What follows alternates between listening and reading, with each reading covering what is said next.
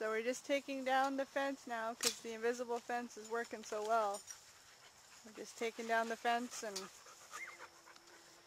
and uh, allowing Jessie to have the full full reign of the the yard.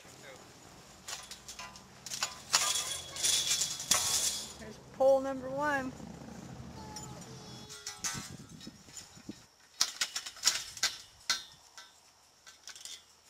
I'll be happy to see this thing go.